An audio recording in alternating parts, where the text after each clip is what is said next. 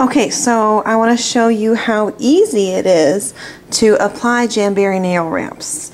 Um, I have laid out kind of everything I need here. First thing that you want to do is prepare your nails properly. Don't rush this because the preparation is what's going to set the groundwork for a good application. So there are lots of different ways to prep your nails, just like with anything. You pick what works for you. I like to use um, just some 100% acetone because I have some oily nails and it really just kind of strips all that oiliness right off my nails. So I've already done this step, but I just use some cotton rounds and acetone, wipe off my nails. Done.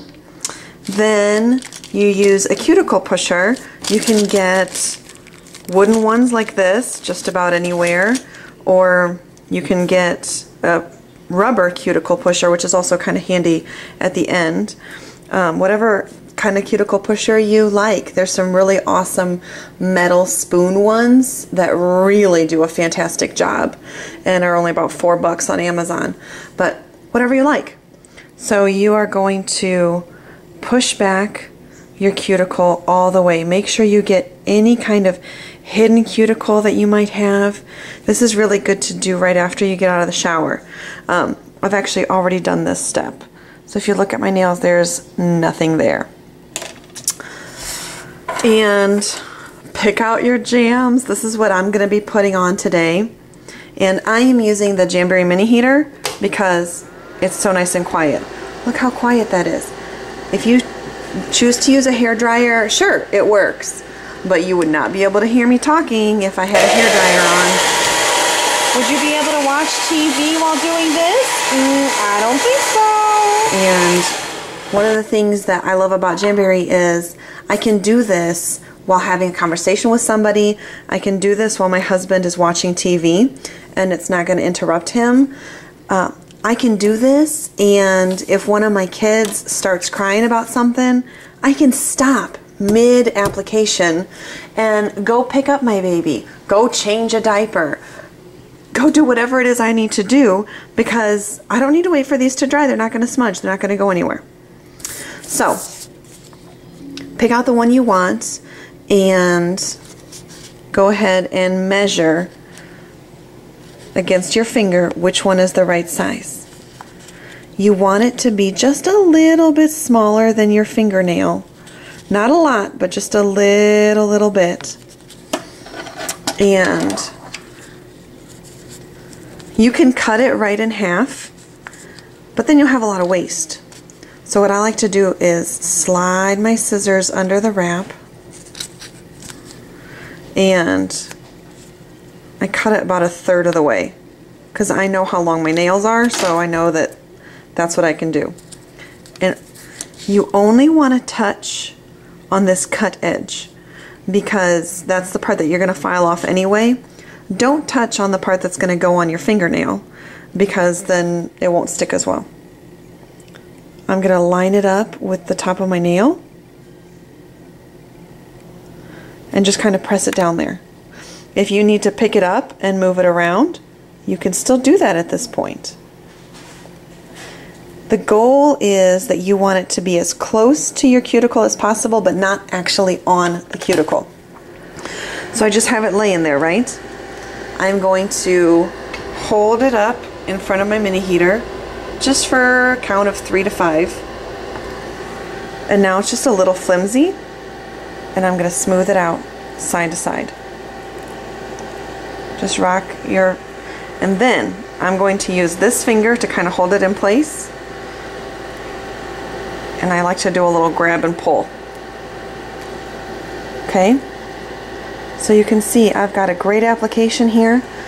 If you have one of these rubber cuticle pushers, it's nice to just kind of go around, smooth it out, make sure you get no bubbles. But it's totally not necessary. By doing the grab and pull, you're going to make sure, look, there's not a single wrinkle or bubble here. It looks pretty perfect. Then, you can either use nail clippers and clip off the extra, or I'm going to use a nail file I actually really like our Jamberry nail files because they're a nice rough grit and it gets this off in no time at all. If you like a finer grit, that's fine, whatever works for you. That's it, you guys. I'm done. Beautiful nail, perfect application, and that took like, what, 30 seconds. Let me do one more for you. Okay, on this nail, I'm gonna use my aquamarine French tip. Again, same process. I am going to hold it up. Now the French tip comes in different sizes because everybody's nail bed has a different length and you want it to be a length that makes sense for you. And I'm going to pick this size. Now, again, I can cut this straight up the middle if I want, but you know what? This aquamarine color is so pretty. If I leave a little bit in the middle, I can use the extra for my toes later. How awesome would that be? Again, I am going to line up the clear part with the edge of my cuticle. Just kind of press it down lightly. Hold it up in front of the heater just for about a three count.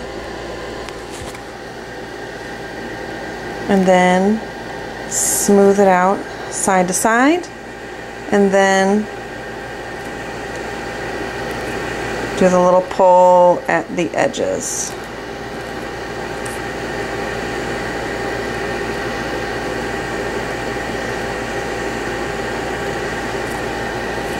I actually like to do all five of my nails and then file at the end, but for demonstration purposes.